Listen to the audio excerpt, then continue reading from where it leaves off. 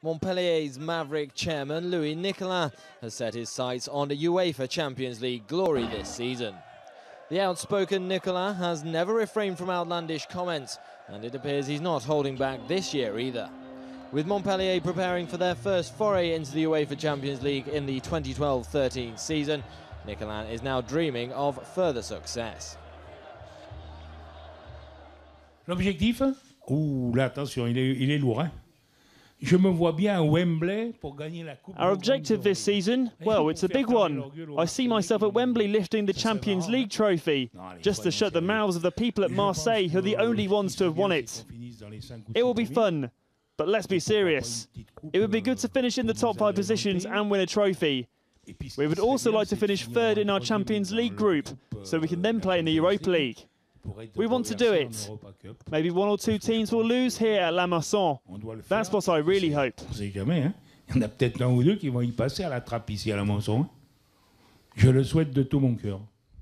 Last season's title-winning side were inspired by strike sensation Olivier Giroud, who finished as Ligue 1's joint top scorer.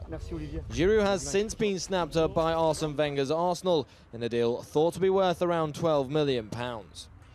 Montpellier have recruited the services of Gaetan Charbonnier, Anthony Mounier and Daniel Congre from Angers, Nice and Toulouse respectively as they look to plug the gap.